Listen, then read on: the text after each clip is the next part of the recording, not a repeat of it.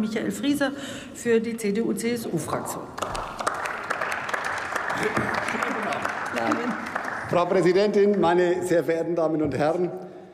Die vollgesteckten Reihen zeigen etwas über die Attraktivität des Tagesordnungspunktes. Und äh, in Anbetracht äh, der FDP-Ergebnisse, glaube ich, kann man mal wieder Graf Lambsdorff zitieren, ähm, indem er sagt, äh, das Parlament ist mal voller und mal leerer. Meistens ist es voller Lehrer und jeden einzelnen davon schätzen wir natürlich persönlich, überhaupt keine Frage. Also auch dieses Plenum hat nun mal 115 Beamte. Ich tue mich da etwas leichter als selbstständiger Anwalt, äh, darüber objektiv zu reden. Aber klar ist, dass wir heute in dieser Debatte vor lauter Fachbegriffen und Ähnlichem manchmal ein bisschen aus den Augen verlieren, worum es im Wesentlichen tatsächlich eigentlich geht. Kollegen Grins bin ich sehr dankbar, dass er da die entscheidenden Punkte herausgearbeitet hat. Es geht natürlich schon darum, dass wir wissen, dass im Augenblick so viele Beamte wie noch nie in den Ruhestand wechseln. Und als demografiepolitischer Sprecher der Union äh, bin ich dann natürlich besorgt um die Frage, wie schaut es eigentlich mit einem qualifizierten Nachwuchs aus? Und das stellt uns in der Tat vor besondere Herausforderungen.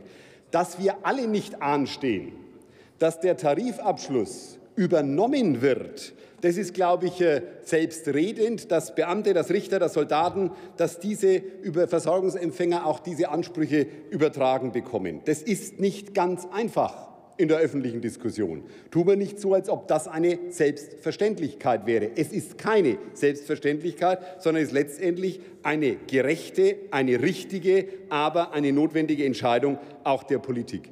Und diese gesellschaftliche Debatte, die hier geführt wird, der muss man sich als Politik, der muss man sich als äh, äh, Deutscher Bundestag natürlich auch stellen. Bei 1,7 Millionen Beamten in diesem Land ist es notwendig und sie sind, das will ich noch einmal deutlich sagen, eine Säule dieses Rechtsstaates. Neben allen Menschen, die gerade in den letzten Monaten ihr Menschenmöglichstes getan haben, hat sich gezeigt, dass eine organisationsfähige, eine schlagkräftige und vor allem ein Staat mit Beamten, die eben nicht zu einem bestimmten Zeitpunkt den Löffel, den Stift oder Ähnliches fallen lassen, sondern die mehr tun, als sie eigentlich tun müsste. Und dazu gehört aber eben auch, dass man diesen Beamtinnen und Beamten eine Perspektive einräumt. Nur wer eine Perspektive hat, gerade was die Versorgung, was den Ruhestand anbetrifft, der ist auch bereit, bereit, sich tatsächlich einzubringen. Wir haben in unmittelbarer Nachbarschaft auch in Europa erlebt, wie es Ländern geht, die sich nicht verlassen können auf einen schlagkräftigen, auf einen handlungsfähigen, auf einen effektiven Rechtsstaat. Deshalb geht es darum,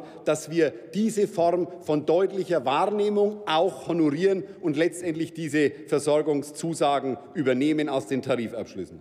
Aber wir sind trotzdem gut beraten, die politische Realität nicht ganz aus dem Auge zu verlieren. Und deshalb müssen wir wissen, dass zum Beispiel eine gestiegene Lebenserwartung natürlich auch auf demografische Herausforderungen trifft. Das kann nicht unberücksichtigt bleiben. Und deshalb ist es notwendig, dass die Versorgungsrücklage tatsächlich auch ein Stück weit verändert wird. Wir wissen, und dieser Fakt ist heute von keinem der Redner widersprochen worden, dass der Peak, also der höchste Berg derer, die tatsächlich als Versorgungsempfänger in den Ruhestand gehen, 2035 erreicht wird. Also muss klar sein, dass diese Erstentnahme natürlich auch nach hinten verschoben wird. Dieses Mittel ist notwendig, dieses Mittel ist tatsächlich angemessen und es ist geeignet. Und jetzt hören wir plötzlich, das sei Verrat, das sei tatsächlich ein Vertrauensbruch. Dieses Argument, dieser Vorwurf, der ist nicht geeignet, der ist nicht angemessen und der ist letztendlich auch nicht verhältnismäßig. Denn jeder weiß, dass die Argumentation darauf basiert, dass wir Zahlen haben, die wir den vor allem nachfolgenden Generationen durchaus schuldig sind. Und äh, entweder Entweder ist dann jemand bei so einem Argument der Rechenschieber kaputt gegangen oder es ist eine politisch einseitig motivierte Argumentation im Hintergrund. Alles andere kommt meines Erachtens nicht ganz zu Pass. Und damit sind wir bei der Frage der Niedrigzinsphase. Also wenn man sich über etwas aufregt in diesem Land, dann muss man im Hinblick auf die Versorgungsfonds mal sagen, dass letztendlich unser Hauptargument bei der Einführung dieses Versorgungsfonds war, dass es eine wirklich sichere Säule der Altersvorsorge sein sollte.